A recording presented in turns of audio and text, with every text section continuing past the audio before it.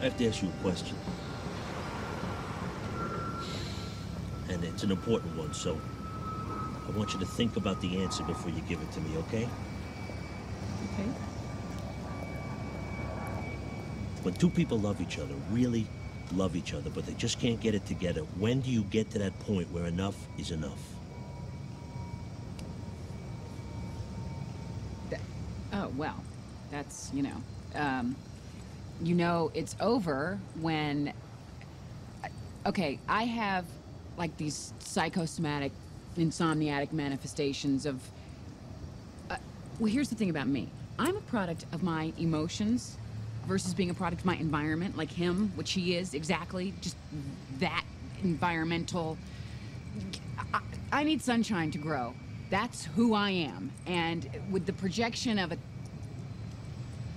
I have goals.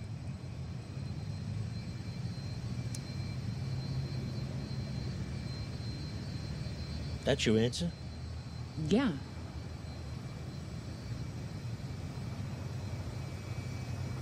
That's not right. I mean, there's a right answer here, but that's not it.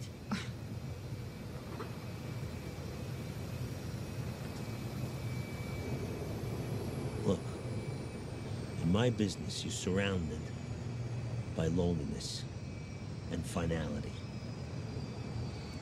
Now, I don't care what your take is on an afterlife. When people die, it's scary. And they go alone. Now, the people that I send off that have experienced love, they're a little less scared. I mean, they're still scared, but there's a calmness to them. And I, I think that comes from the knowledge that somebody somewhere loved them and cared for them and will miss them. Now, I see that from time to time, and I am awed by it.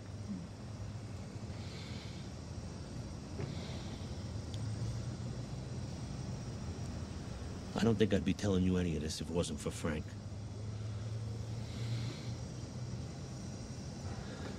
Anyway, it's a loaded question. Look, when two people love each other, totally, truthfully, all the way love each other, mm-hmm.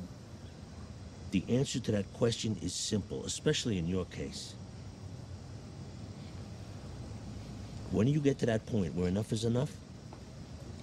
Never. Never.